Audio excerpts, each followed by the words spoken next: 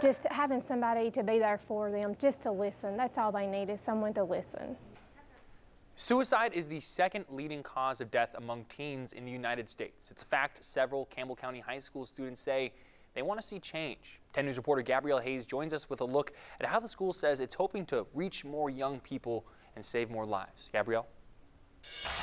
These young people say suicide is an issue affecting not only their own classmates, but also people in their own community too. However, they hope through sharing their own stories, someone out there won't give up.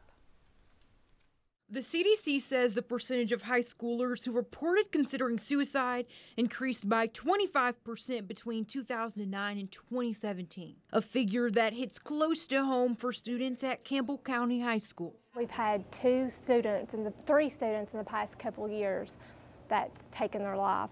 Kyra Pierce is a counselor at the school. She says each time it happened, every single student felt the loss. It, it really impacted them as a whole. Uh, we had students that would gather out in the commons area and um, have prayer.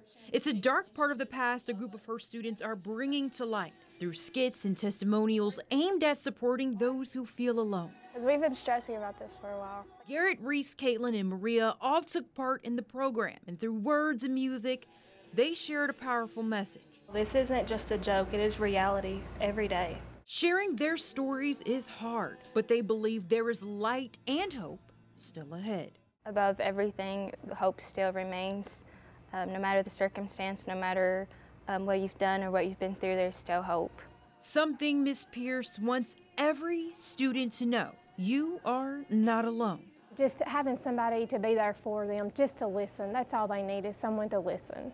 And I'm glad I'm that person for them. Gabrielle Hayes, 10 News. Gabby, thank you. If you or anyone you know is struggling with thoughts of suicide, there's someone you can talk to on the National Suicide Prevention Lifeline. That number is on your screen.